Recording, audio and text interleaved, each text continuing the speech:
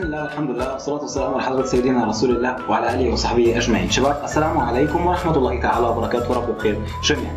اتكلمنا عن الطريقة اللي فاتت عن جيت element اي دي إزاي ننادي على عنصر باستخدام ID إحنا already كنا مديينه له في الكود. الطريقة الثانية هنتكلم عن get element by tag name بس الطريقة ديت هنقدر من خلالها ننادي على العناصر باستخدام ال tags بتاع HTML بتاعها. أنا هنادي على العنصر بتاعي اللي هو مثلا باي اي من عناصر الصفحة ايا يكن meta title head أي عنصر من العناصر ديت. كل اللي أنا محتاجه اني هكتب يا جماعة document واكتب get element by tag name.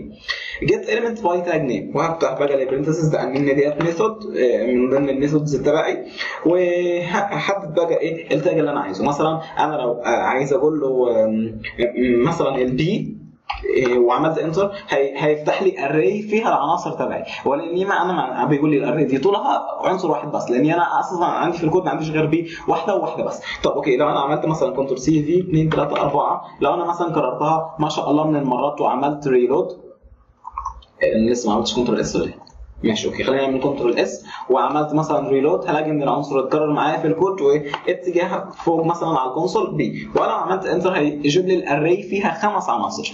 إيه تمام كده؟ وأنت نازل بقى العنصر الأولاني ده عبارة عن ال P الثاني الثالث الرابع الخامس وهكذا. تمام كده؟ إيه ديت الطريقة اللي تقدر من خلالها تنادي على ال element باستخدام ال tag إيه لو أنا مثلا غيرت ال P وكتبت مثلا title عملت title وهيت enter هيقول لي ال array فيها عنصر واحد واحد بس ال length بتاعك ده اللي هو ده, ده العنصر بتاع ال array تمام كده؟ طبعا لأن ال title موجود فين؟ ال title موجود في ال head فأنا مش عارف أشوف تاثيره فالمسألة بتاعت لوبر مش شغالة معايا. لو أنا مثلا قلت له حاجة زي بلاش title المرة دي خلينا بال div اللي هي بتاعت ال body. لو عملت مثلا enter هيقول لي إيه؟ إن أنت عندك خمس عناصر ليه؟ لأن هم ده في ال div الأولانية الثانية الثالثة الرابعة وهكذا بالنسبة للعناصر آه، بتاعت ال elements آه، آه، تبعك. ده بالنسبة للطريقه الثانية ممكن تاخد ال get elements ده اثنين. سبحانك اللهم ربنا. وبحمدك لا إله إلا أنت. نستغفرك. ونتوب إليك.